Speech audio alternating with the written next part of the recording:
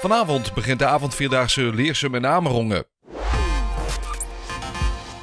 Regio 90 Nieuws. Er wordt gestart vanaf Sportpark HDS aan de Wildaan in Leersum. Heb je je nog niet ingeschreven? Dan kan dat tot vanavond, 1 uur voor de tocht.